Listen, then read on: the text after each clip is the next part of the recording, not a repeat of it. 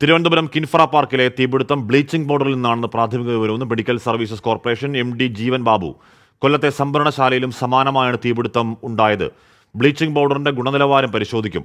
അടിക്കടി അപകടങ്ങൾ ഉണ്ടാകുന്ന സാഹചര്യത്തിൽ സംഭരണശാലകളിൽ സുരക്ഷ വർദ്ധിപ്പിക്കുമെന്നും ജീവൻ ബാബു പറഞ്ഞു. രണ്ടിടത്തും നമുക്കൊരു ബ്ലീച്ചിങ് പൗഡറുമായിട്ട് ബന്ധപ്പെട്ട കാര്യമാണ് എന്നുള്ളൊരു പ്രതീക്ഷയിലാണ് നമ്മൾ നിൽക്കുന്നത്. അതുകൊണ്ട് തന്നെയാണ് നമ്മൾ ബ്ലീച്ചിങ് പൗഡർ മാറ്റി വെച്ചിരുന്നത് ഇവിടെ. ഇപ്പം ബ്ലീച്ചിങ് പൗഡർ മാറ്റി വരുന്നതാണ് അതിനകത്തേക്ക് പവറിന്റെ കണക്ഷൻ ഇല്ലായിരുന്നു കാരണം ഒരു ബ്ലാസ്റ്റിനോ അല്ലെങ്കിൽ ഒരു ഷോർട്ട് സർക്യൂട്ടിനുള്ള സാധ്യതകൾ ഉണ്ടാകാതിരിക്കാൻ വേണ്ടിയിട്ടാണ് അങ്ങനെ നമ്മൾ മാറ്റി വെച്ചിരിക്കുന്നത്.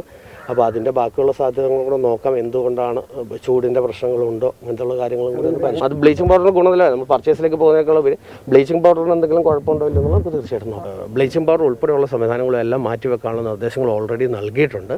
മറ്റ് സ്ഥലങ്ങളിലും ആവശ്യമായിട്ടുള്ള നടപടികൾ ആവശ്യമുണ്ട് തീർച്ചയായിട്ടും നമുക്ക് കൈക്കൊള്ളാം. തീപിടിച്ച വെയർഹൌസിൽ രാസവസ്തുക്കൾക്കൊപ്പം ഉണ്ടായിരുന്നത് കാലാവധി കഴിഞ്ഞ മരുന്നുകളാണ്. അപ്പാരൽ പാർക്ക് സിഇഒ ജീവനാനന്ദാണ് ഇക്കാര്യം ട്വന്റി ഫോറിനോട് വ്യക്തമാക്കിയത്. മെഡിക്കൽ സർവീസ് കോർപ്പറേഷന്റെ തിരുവനന്തപുരം ജില്ലയിലുള്ള രണ്ട് സംഭരണശാലകളിൽ ഒന്നാണ് അപ്പാരൽ പാർക്കിനകത്തുള്ള ഈ വെയർഹൗസ്. അത് മെഡി മരുന്നുകൾ വയ്ക്കുന്നത് പ്രത്യേകം ബിൽഡിങ്ങിലും കെമിക്കൽസും മറ്റും സെപ്പറേറ്റ് ആയിട്ട് വെയർ വെയർഹൌസ് വെയർഹൗസ് ഷെഡിലായിട്ടാണ് അവർ സൂക്ഷിച്ചിരിക്കുന്നത്. അത് എക്സ്പയറി ഡേറ്റ് കഴിഞ്ഞിട്ടുള്ള സാധനങ്ങളിൽ മാറ്റി വെച്ചിരിക്കുകയാണ്. തീപിടുത്തമുണ്ടായെന്ന വിവരം ലഭിച്ചത് പുലർച്ചെ രണ്ടരയോടെയെന്ന് city police commissioner Spurgeon Kumar പറഞ്ഞു. വെയർഹൌസിൽ ബ്ലീച്ചിംഗ് പൗഡർ സ്പിരിറ്റ് എന്നിവ ഉൾപ്പെടെ നിരവധി രാസവസ്തുക്കൾ സൂക്ഷിച്ചിരുന്നതായാണ് വിവരമെന്നും സ്പർജൻ കുമാർ പറഞ്ഞു. നമുക്ക് ഫയർ ആക്സിഡന്റ് സംഭവിച്ചതായിട്ട് അറൌണ്ട് ടു തേർട്ടി സമയത്താണ് ഇൻഫർമേഷൻ കിട്ടിയത്. ആ സമയത്ത് തന്നെ അടുത്തുള്ള ഫയർ ഫോഴ്സ് ഇൻഫോം ചെയ്തിട്ടുണ്ട്. Fire force mobilise all fire engines near by എല്ലാം മൊബിലൈസ് ചെയ്തിട്ട് വന്നിട്ടുണ്ട് പോലീസുകാർ വന്നിട്ടുണ്ട്. പിന്നെ അന്ന് മുതൽ ഈ ഫയർ കൺട്രോൾ ചെയ്യാൻ നോക്കി ആൾമോസ്റ്റ് അപ്പോൾ കൺട്രോളാണ് ഡ്യൂറിങ് ദി പ്രോസസ് ഒരു ഒരു ഫയർമാൻ ആക്സിഡന്റലി മരണപ്പെട്ടതായിട്ടാണ് ഒരു അൺഫോർച്ചുനേറ്റ് ഇൻസിഡന്റ് സംഭവിച്ചത്. ഈ മതിൽ പൊളിച്ച് കയറുന്ന സമയത്ത് മതിൽ വീണതായിട്ടാണ് നമുക്ക് കാണുന്നത്. ഈ വെയർ ഹൗസ് ഡ്രഗ് വെയർ ഹൗസിൽ ഒരുപാട് സാധനങ്ങൾ സൂക്ഷിച്ചു വെച്ചിട്ടുണ്ട്. മോസ്റ്റ്ലി പരമാവധി bleaching powder and washing spirit അങ്ങനെ പോലെ ഫിനാൽ അങ്ങനെ പോലെ കുറേ സാധനങ്ങൾ സൂക്ഷിച്ചതായിട്ടാണ് ഡ്രഗ് വെയർ ഹൗസ് മാനേജർ പറയുന്നത്. അത് പ്രിലിമിനറി ആയിട്ടുള്ള ഇൻഫർമേഷൻസ് ആണ്. ഇപ്പോൾ ആസ് ഓഫ് നൗ ഇപ്പോൾ കൺട്രോളിലാണ് ഉള്ളത്. ഒരുപാട് ഫയർ ടെൻഡേഴ്സ് എല്ലാവരും ഇത് ഉപയോഗിച്ചാണ് കൺട്രോൾ ചെയ്തത്. ആസ് ഓഫ് നൗ ഇപ്പോൾ കൺട്രോളിലാണ് ഉള്ളത്. ബാക്കി കാര്യങ്ങൾ നോക്കാം. ഏതെങ്കിലും ഒന്നായിട്ടോ. തീപിടുത്തമുണ്ടായ ഗോഡൌണിന്റെ അകത്ത് പ്രവേശിക്കാനുള്ള ശ്രമത്തിനിടയിലാണ് കോൺക്രീറ്റ് പാളി വീണ് ഫയർമാൻ രഞ്ജിത്തിന് ജീവൻ നഷ്ടമായതെന്ന് ഫയർഫോഴ്സ് മേധാവി ബി സന്ധ്യ പറഞ്ഞു. സംഭവം അതീവ ദുഃഖകരമാണ്. തീപിടുത്തത്തിന്റെ കാരണം വ്യക്തമായിട്ടില്ലെന്നും ബി സന്ധ്യ പ്രതികരിച്ചു. വളരെ സങ്കടകരമായ ഒരു കാര്യമാണ് ഞങ്ങളുടെ ഒരു ഫയർമാൻ ഇരുപത്തെട്ട് വയസ്സുകാരനായ രഞ്ജിത്തിനെ ഞങ്ങൾക്ക് നഷ്ടപ്പെട്ടു എന്നുള്ളത്. സംഭവ സ്ഥലത്തെ ബിൽഡിംഗിലേക്ക് ബ്രേക്ക് ഓപ്പൺ ചെയ്ത് പ്രവേശിക്കാനുള്ള ശ്രമത്തിനിടെയാണ് രഞ്ജിത്തിന് ജീവൻ നഷ്ടമായത്. ബ്ലീച്ചിങ് പൗഡറും ആൽക്കഹോൾ പോലെ തീപിടിക്കുന്ന വസ്തുക്കളും ഒരുമിച്ച് സൂക്ഷിച്ചിരുന്ന സ്ഥലത്താണ് തീപിടുത്തം ഉണ്ടായിട്ടുള്ളത്. ഇതിനെക്കുറിച്ച് പോലീസ് ഇൻവെസ്റ്റിഗേറ്റ് ചെയ്ത് തീപിടുത്തത്തിന്റെ കാരണം കണ്ടുപിടിക്കേണ്ടിയിരിക്കുന്നു. തീപിടുത്തമുണ്ടായ തുമ്പയിലെ കിൻഫ്ര പാർക്കിൽ നിന്ന് വി എ ഗിരീഷ് കിംസ് നിന്ന് എം ജി പ്രതീഷ് ചേരുന്നു. പ്രതീഷ് അത്യന്തം സങ്കടകരമായ കാര്യമാണ്. ഇവിടെ ജോലിക്കിടെ ഒരു ഡോക്ടർ കൊല്ലപ്പെട്ടിട്ട് അതിന്റെ ഞെട്ടൽ മാറിയിട്ടില്ല. സമാനമല്ലെങ്കിൽ കൂടിയും ജോലിക്കിടയിൽ മറ്റൊരു ചെറുപ്പക്കാരനായ ഭാവിയുടെ വാഗ്ദാനം എന്നൊക്കെ പറയാവുന്ന തരത്തിലുള്ള ഒരു ഒരു മിടുക്കനായ ഫയർഫോഴ്സ് ഉദ്യോഗസ്ഥൻ മരിക്കുന്നു. സംഭവത്തെക്കുറിച്ച് ഫയർഫോഴ്സ് വിശദമായി പറയുന്നത് എന്താണ്? ആശുപത്രിയിൽ നിന്ന് എപ്പോഴാണ് മൃതദേഹം പുറത്തേക്ക് കൊണ്ടുപോവുക? പ്രതീഷ്. ആ ഹാഷ്മി വളരെ ദുഃഖകരമായ വാർത്ത തന്നെയാണ് ഇന്ന് രാവിലെ തിരുവനന്തപുരത്ത് നിന്ന് റിപ്പോർട്ട് ചെയ്യേണ്ടി വരുന്നത്. ഈ ഫയർഫോഴ്സ് ഉദ്യോഗസ്ഥനായ രഞ്ജിത്തിന്റെ പോസ്റ്റ്മോർട്ടം നടപടികൾ അല്പസമയം മുമ്പാണ് പൂർത്തിയായത്. ഞാനിപ്പോൾ ഉള്ളത് തിരുവനന്തപുരം കിംസ് ആശുപത്രിയിലാണ്. പോസ്റ്റ്മോർട്ടം നടപടികൾ ക്ഷമിക്കണം പോസ്റ്റ്മോർട്ടം നടപടികൾക്കായി രഞ്ജിത്തിന്റെ മൃതദേഹം അല്പസമയത്തിനകം കിംസ് ആശുപത്രിയിൽ നിന്ന് പുറത്തെത്തിക്കും. ഇൻക്വസ്റ്റ് നടപടികളാണ് കിംസ് ആശുപത്രിയിൽ പൂർത്തിയായിരിക്കുന്നത്. നമുക്ക് ദൃശ്യങ്ങളിൽ കാണുന്നത് ഈ തിരുവനന്തപുരം കിംസ് ആശുപത്രിയിലെ മോർച്ചറി விભાகமானாம் ഇന്ന് പുലർച്ചെ രണ്ട് മണിയോടുകൂടിയാണ് തുമ്പ കിൻഫ്ര പാർക്കിൽ തീപിടുത്തം തീപിടുത്തമുണ്ടാകുന്നത്. ഈ തീപിടുത്തത്തിൽ രക്ഷാപ്രവർത്തനത്തിനായാണ് ഫയർഫോഴ്സ് ഉദ്യോഗസ്ഥനായ രഞ്ജിത്ത് ചാക്ക ഫയർ സ്റ്റേഷനിൽ നിന്ന് തുമ്പ കിൻഫ്ര പാർക്കിൽ എത്തുന്നത്. ഈ നേരത്തെ ഫയർഫോഴ്സ് മേധാവി സൂചിപ്പിച്ചതുപോലെ തന്നെ ഒരു ബിൽഡിങ്ങിലേക്ക് കയറാൻ ശ്രമിക്കുന്നതിനിടെയാണ് ഈ വലിയ കമ്പി കൊണ്ട് ഈ ഷട്ടർ ഇടിച്ച് ഉള്ളിലേക്ക് കയറാൻ ശ്രമിക്കുന്നതിനിടെയാണ് വലിയ കോൺക്രീറ്റ് പാളികൾ രഞ്ജിത്തിന്റെ ദേഹത്തേക്ക് വീഴുകയും തുടർന്ന് ഗുരുതരമായി പരിക്കേറ്റ രഞ്ജിത്തിനെ കിംസ് ആശുപത്രിയിൽ പ്രവേശിപ്പിക്കുകയും ചെയ്തു. എന്നാൽ ഇവിടെ എത്തിച്ച അല്പസമയത്തിനകം രഞ്ജിത്തിന്റെ മരണം സംഭവിക്കുകയായിരുന്നു. തുടർന്ന് രഞ്ജിത്തിന്റെ ബന്ധുക്കളും സഹപ്രവർത്തകരും രഞ്ജിത്തിന്റെ അവയവങ്ങൾ ദാനം ചെയ്യുന്ന കാര്യം ആശുപത്രി അധികൃതർ അറിയിച്ചിരുന്നു. ഈ നേരത്തെ ഫയർഫോഴ്സിലെത്തി ട്രെയിനിങ് സമയത്ത് തന്നെ അവയവങ്ങൾ ദാനം ചെയ്യാൻ രഞ്ജിത്ത് സന്നദ്ധത അറിയിക്കുക അറിയിക്കുകയും സമ്മതപത്രം നൽകുകയും ചെയ്തിരുന്നു. ഇതിന് പിന്നാലെയാണ് ഈ അവയവദാന പ്രക്രിയയുമായി ബന്ധപ്പെട്ടുള്ള നടപടിക്രമങ്ങൾ ആശുപത്രി അധികൃതർ ആലോചിച്ചത് എന്നാൽ രഞ്ജിത്തിന്റെ കണ്ണുകളാണ് ഇപ്പോൾ ദാനം ചെയ്തിരിക്കുന്നത്. മറ്റ് അവയവങ്ങൾ ദാനം ചെയ്യാൻ കഴിയുന്ന ഒരു സാഹചര്യമായിരുന്നില്ല ഉണ്ടായിരുന്നത്. അതുകൊണ്ട് തന്നെ രഞ്ജിത്തിന്റെ കണ്ണുകൾ ദാനം ചെയ്തിട്ടുണ്ട്. ഈ കണ്ണുകൾ ദാനം ചെയ്ത് ഈ ശസ്ത്രക്രിയകൾ തിരുവനന്തപുരം കണ്ണാശുപത്രിയിലെ ഡോക്ടർമാരുടെ വിദഗ്ധ സംഘം കിംസിലെത്തിയാണ് ഈ ശസ്ത്രക്രിയകൾ നടത്തിയത്. അതിനുശേഷം ഇൻക്വസ്റ്റ് നടപടികൾ പൂർത്തിയാക്കി തിരുവനന്തപുരം മെഡിക്കൽ കോളേജിലേക്ക് പോസ്റ്റ്മോർട്ടത്തിനായി കൊണ്ടുപോകാനാണ് ഇപ്പോൾ ഒരുങ്ങുന്നത്. ഇതിനായി രഞ്ജിത്തിന്റെ മൃതദേഹം ആംബുലൻസിൽ കയറ്റിയിട്ടുണ്ട്. ഇനി ചില പോലീസ് നടപടികൾ മാത്രമാണ് തിരുവനന്തപുരം കിംസ് ആശുപത്രിയിൽ പൂർത്തിയാക്കാനുള്ളത്. മെഡിക്കൽ കോളേജിൽ പോസ്റ്റ്മോർട്ടം നടത്തിയതിനു ശേഷം മൃതദേഹം ചെങ്കൽച്ചുളയിലുള്ള ഫയർഫോഴ്സ് ഹെഡ്ക്വാർട്ടേഴ്സിൽ എത്തിക്കും അവിടെയായിരിക്കും പ്രധാനമായും പൊതുദർശനം ഉണ്ടാവുക. അതിനുശേഷം രഞ്ജിത്ത് ജോലി ചെയ്തിരുന്ന ചാക്ക ഫയർ ഓഫ് ഫയർഫോഴ്സ് സ്റ്റേഷനിലും രജിത്തിന്റെ മൃതദേഹം കൊണ്ടുവരും. അവിടെയും പൊതുദർശനത്തിന് ശേഷമായിരിക്കും.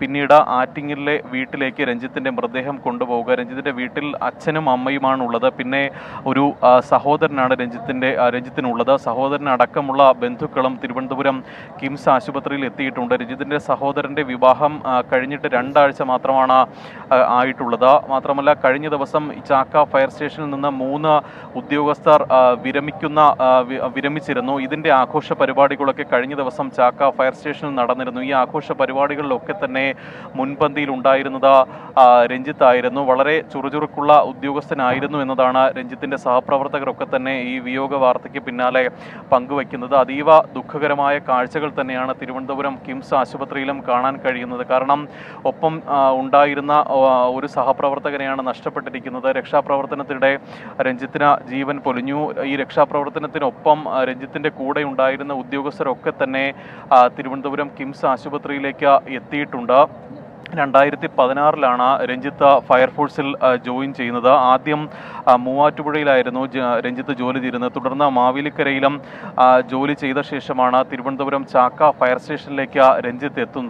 ഇതിനിടെ നിരവധി രക്ഷാദൗത്യങ്ങളിലൊക്കെ തന്നെ രഞ്ജിത്ത് പങ്കാളികളായിരുന്നു.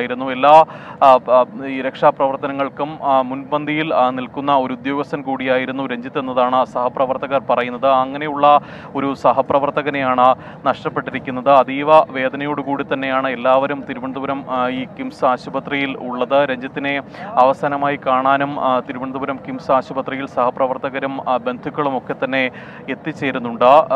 അല്പസമയത്തിനകം തന്നെ രഞ്ജിത്തിന്റെ മൃതദേഹം തിരുവനന്തപുരം കിംസ് ആശുപത്രിയിൽ നിന്ന് തിരുവനന്തപുരം മെഡിക്കൽ കോളേജിലേക്ക് കൊണ്ടുപോകും. അവിടെയായിരിക്കും പോസ്റ്റ്മോർട്ടം നടപടികൾ നടക്കുക. അതിനുശേഷം ഭൗതികദേഹം ഫയർഫോഴ്സ് ഹെഡ് ക്വാർട്ടേഴ്സിൽ പൊതുദർശനത്തിന് വയ്ക്കും.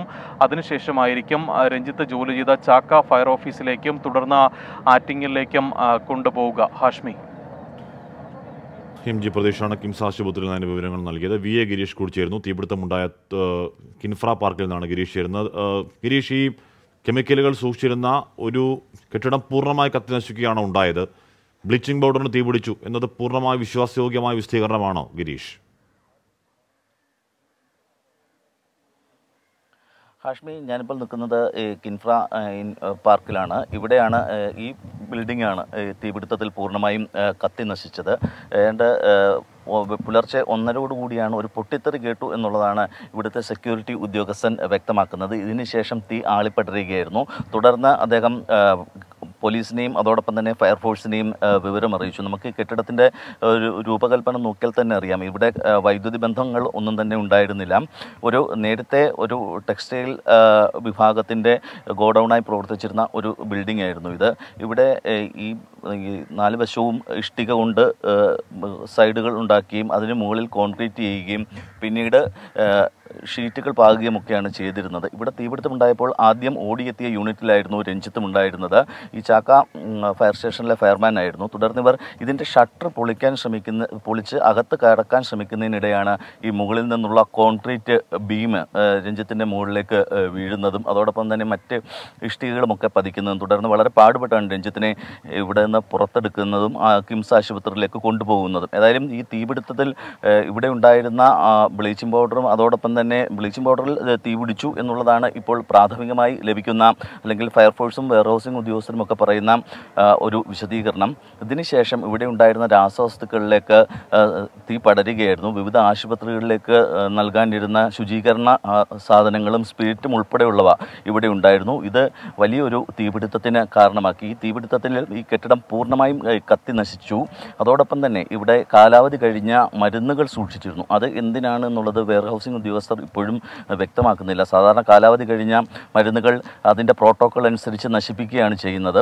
എന്നാൽ ഇവിടെ അതുണ്ടായിട്ടില്ല. പകരം ആ മരുന്നുകൾ കൂടി ഇവിടെ സൂക്ഷിച്ചിരുന്നു. ഇതിനും തീ പിടിച്ചിട്ടുണ്ട്. ഏതാണ്ട് മണിക്കൂറുകൾ നീണ്ടു നിൽക്കുന്ന ഒരു പരിശ്രമത്തിന് ശേഷമാണ് ഫയർഫോഴ്സിന് ഈ തീ പൂർണമായും അണയ്ക്കാനായത്. ഇതിൽ തന്നെ ഫയർഫോഴ്സ് ചെയ്ത ഒരു കാര്യം ചുറ്റും വ്യവസായ സ്ഥാപനങ്ങളുണ്ട്. സംഭരണ ആ, സ്- ആ, കേന്ദ്രങ്ങളുണ്ട്. തൊട്ടപ്പുറത്ത് തന്നെ ഓക്സിജൻ സെന്ററുകൾ ഒക്കെ ഉണ്ട് അതുകൊണ്ട് തന്നെ ഇവിടേക്കൊക്കെ തീ പടരാതിരിക്കാനുള്ള ഒരു മുൻകരുതലാണ് ആദ്യഘട്ടത്തിൽ ഫയർഫോഴ്സ് സ്വീകരിച്ചത് ഇതിനുശേഷം കാരണം ഇത്രയും സ്പിരിറ്റും ഒക്കെ ഇരിക്കുന്നതുകൊണ്ട് കെട്ടിടം പൂർണമായും തന്നെ കത്തി നശിക്കും എന്നുള്ളത് അവർക്കും അറിയായിരുന്നു ഇതിനുശേഷമാണ് തീ നിയന്ത്രണ വിധേയമാക്കാനുള്ള നടപടികളിലേക്ക് അവർ കടന്നത് ഇതിനുശേഷം തീ നിയന്ത്രണ വിധേയമാക്കുകയും രണ്ട് ഏഴര ആ, തീ പൂർണമായും അണയ്ക്കുകയും ചെയ്തു ഇതിനുശേഷം പുക പടർന്നു പിടിക്കാനുള്ള ഒരു സാഹചര്യം. കാരണം രാസവസ്തുക്കളൊക്കെയാണ് ഇതിനകത്ത് ഉണ്ടായിരുന്നത്. അതുകൊണ്ട് തന്നെ ഇത് പൊതു ഏതെങ്കിലും തരത്തിൽ പുകയൊക്കെ ഉണ്ടായിക്കഴിഞ്ഞാൽ പൊതുജനങ്ങൾക്ക് ഇത് വലിയ തരത്തിലുള്ള ആരോഗ്യ പ്രശ്നങ്ങൾ ഉണ്ടാക്കും എന്ന ഒരു ആശങ്ക ഉണ്ടായിരുന്നു. അതുകൊണ്ട് തന്നെ ഈ തീ അണയ്ക്കുന്നതോടൊപ്പം തന്നെ പുകയും പൂർണമായും ഇല്ലാതാക്കാനുള്ള ഒരു പരിശ്രമങ്ങളിലേക്കാണ് ഫയർഫോഴ്സ് കടന്നത്. ഇതിന്റെ ഭാഗമായി ജെ സി ബി ഉൾപ്പെടെയുള്ള യന്ത്രങ്ങൾ ഉപയോഗിച്ചുകൊണ്ട് ഇതിനെ ഈ മാലിന്യങ്ങൾ അവശിഷ്ടങ്ങൾ നീക്കം ചെയ്യുകയും അതിലേക്ക് വെള്ളം പമ്പ് ചെയ്യുകയും ഒക്കെയാണ് ചെയ്തത്. ഏതായാലും ഫയർഫോഴ്സിന്റെ മണിക്കൂറുകൾ നീണ്ട ഈ ഒരു പ്രയത്നം ഉണ്ട് എട്ട് മണിയോടെ വിജയം കണ്ടു. പൂർണമായും തീ അണയ്ക്കുന്നതിനും പുകയില്ലാതാക്കുന്നതിനും ഫയർഫോഴ്സിന് കഴിഞ്ഞു. ഏതായാലും ഇപ്പോൾ ഫോറൻസിക്സ് ഉദ്യോഗസ്ഥർ ഉൾപ്പെടെയുള്ളവർ സ്ഥലത്തെത്തിയിട്ടുണ്ട്. ഫയർഫോഴ്സിന്റെ ആ, മുതിർന്ന ഉദ്യോഗസ്ഥർ സ്ഥലത്തെത്തിയിട്ടുണ്ട്. നേരത്തെ ഇവിടം സന്ദർശിച്ച മെഡിക്കൽ സർവീസസ് കോർപ്പറേഷന്റെ എം ഡി പുതിയതായി അദ്ദേഹം ഒരാഴ്ച ആയതേ ഉള്ളൂ ചുമതലയേറ്റിട്ട്. ജീവൻ ബാബു ഐ എസ് അദ്ദേഹം പറഞ്ഞത് ഈ ബ്ലീച്ചിങ് പൗഡറിൽ നിന്നാണ് ഇത്തരത്തിലൊരു പൊട്ടിത്തെറി ഉണ്ടായത് എന്ന് സംശയിക്കേണ്ടിയിരിക്കുന്നു. കൊല്ലത്ത് കഴിഞ്ഞ ദിവസം മെഡിക്കൽ സർവീസസ് കോർപ്പറേഷന്റെ ഗോഡൗണിലും സമാനമായ ഒരു സംഭവം ഉണ്ടായിരുന്നു. അതുകൊണ്ട് തന്നെ ഈ ബ്ലീച്ചിങ് പൗഡർ വിശദമായ പരിശോധനയ്ക്കായി അയക്കാൻ ഗിരീഷ് ഇപ്പോഴും ഇപ്പോഴും എന്താണ് ബ്ലീച്ചിങ് പൗഡർ ആണോ സംശയം എന്ന അവ്യക്തത നിലനിൽക്കുന്നത് നല്ലതാണോ? അങ്ങനെ സംഭരണശാലകൾക്ക് ആവർത്തിച്ച് തീപിടിക്കുന്നത് വ്യക്തവും കൃത്യമായി കാരണമെന്ത് എന്ന് വ്യക്തമാവുന്ന ഒരു അന്വേഷണം പ്രതീക്ഷിക്കാമോ ഗിരീഷ്? ഹാഷ്മി ഇപ്പോഴും ഇവിടെയും സംഭവിച്ചിരിക്കുന്നത് ബ്ലീച്ചിങ് പൗഡറിന് തീപിടിച്ചു എന്നുള്ളത് തന്നെയാണ് പ്രാഥമിക നിഗമനം എന്ന മെഡിക്കൽ സർവീസസ് കോർപ്പറേഷനും അതോടൊപ്പം തന്നെ ഫയർഫോഴ്സിന്റെ പ്രാഥമിക അന്വേഷണത്തിലും ഇത് ഇങ്ങനെ ഒരു സൂചനയാണ് പുറത്തു വരുന്നത്. നേരത്തെ മെഡിക്കൽ സർവീസസ് കോർപ്പറേഷൻ എം ഡിയും ഇത് തന്നെയാണ് പറഞ്ഞത്. അട്ടിമറി സാധ്യത അവർ തള്ളിക്കളയുന്നുണ്ട് പൂർണമായിട്ടും. എന്തുകൊണ്ട് ബ്ലീച്ചിങ് പൗഡറിന് ഇങ്ങനെ തീപിടിക്കുന്നു എന്നുള്ളത് വിശദമായി അന്വേഷിക്കേണ്ടതുണ്ട്. അതുകൊണ്ട് തന്നെ ബ്ലീച്ചിങ് പൗഡർ വിശദമായ പരിശോധനയ്ക്ക് വിധേയമാക്കാനാണ് ഇപ്പോൾ തീരുമാനിച്ചിരിക്കുന്നത്. മാത്രമല്ല ഈ ബ്ലീച്ചിങ് പൗഡർ തൽക്കാലം ഉപയോഗിക്കേണ്ടതില്ല എന്ന ഒരു നിർദ്ദേശവും ഇപ്പോൾ ആശുപത്രികൾക്കും അതോടൊപ്പം തന്നെ മെഡിക്കൽ സർവീസസ് കോർപ്പറേഷന്റെ മറ്റ് ഗോഡൗണുകൾക്ക് നൽകിയിട്ടുണ്ട്. ഇത് മറ്റ് സാമഗ്രികളോടൊപ്പം വെക്കരുത്. ഇത് മാറ്റി സൂക്ഷിക്കാനുള്ള ഒരു നിർദ്ദേശമാണ് ഇപ്പോൾ നൽകിയിരിക്കുന്നത്. ഏതായാലും ബ്ലീച്ചിംഗ് പൗഡറിന്റെ ഒരു വിശദമായ പരിശോധനയ്ക്ക് ശേഷം മാത്രമേ ബ്ലീച്ചിംഗ് പൗഡർ തന്നെയാണോ ഈ തീപിടുത്തത്തിലെ വില്ലൻ എന്നുള്ള കാര്യത്തിലൊക്കെ ഒരു വ്യക്തത ഉണ്ടാവുള്ളൂ. ഏതായാലും സംഭരണശാല അത് മാനദണ്ഡങ്ങൾ അനുസരിച്ച് തന്നെയല്ല പ്രവർത്തിച്ചിരുന്നതെന്ന് ഒറ്റനോട്ടത്തിൽ തന്നെ വ്യക്തമാണ്. ഇക്കാര്യത്തിലുള്ള ഒരു അന്വേഷണവും ഉണ്ടാകും എന്ന് തന്നെയാണ് മെഡിക്കൽ സർവീസസ് കോർപ്പറേഷൻ വ്യക്തമാക്കുന്നത്. ഹാഷ്മി. വി എ ഗിരീഷാണ് ആ വാർത്തയുടെ വിവരങ്ങൾ നൽകിയത്. എം ജി പ്രതീഷും നൽകിയിരുന്നു. ആശുപത്രിയിൽ നിന്ന് എന്തായാലും മരുന്ന് സംഭരണശാലകളിൽ തീപിടുത്തം ആവർത്തിക്കുന്നു എന്നുള്ളത് അതിഗുരുതരമായ സംഗതിയാണ്. അതെന്തുകൊണ്ടാണ് അട്ടിമറി സാധ്യത ഉണ്ടോ എന്നടക്കമുള്ള അന്വേഷണം ഉണ്ടാവേണ്ടതാണ്. അതിലെല്ലാം സങ്കടകരമാവുന്നത് ദാരുണമാവുന്നത് ഏറ്റവും ചെറുപ്പക്കാരനായ മിടുക്കനായ ഒരു ഫയർഫോഴ്സ് ഉദ്യോഗസ്ഥന്റെ ജീവൻ നഷ്ടമാവുന്നു എന്നുള്ളതാണ് രഞ്ജിത്തിന് ആദരാഞ്ജലികൾ.